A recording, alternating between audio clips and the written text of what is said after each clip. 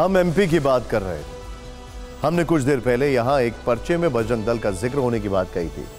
तो इस चुनावी राज्य में बजरंग दल के नाम पर सियासत कैसे छिड़ चुकी है यह बताना भी ज़रूरी है। इस सवाल के साथ, और सवाल जरा ध्यान से देखिएगा कि क्या बजरंग दल का मुद्दा एमपी के चुनाव में भी गरमाएगा? क्या कांग्रेस यहाँ भी बजरंग दल पर बैन लगाने का वादा करेगी?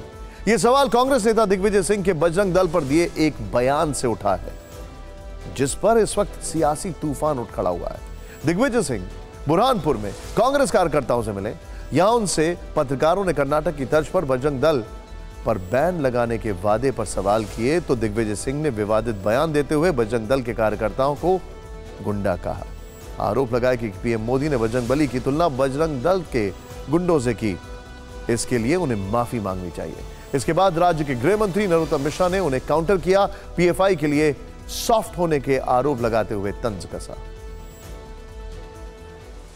मोदी जी से कहता हूँ कि आपने बजरंग बली की तुलना इस गुंडों की जमात बजरंग दल से की है माफ़ी मांगिए। हमारे आस्था को अपमानित किया मोदी जी ने। मोदी जी माफ़ी मांगे। अब दिग्विजय सिंह जी को तो बजरंग दल गुंडा नज़र आएगी। पीएफआई तो कभी गुंडा नज़र आएगी नहीं उनको। न सिमी गुंडा नज़र आएगी। एचयूटी गुंडा नज़र आएगी। जाकिर नायक में उन्हें शांति दूत लगेगा। ये सब लोग उन्हें सज्जन लगते होंगे।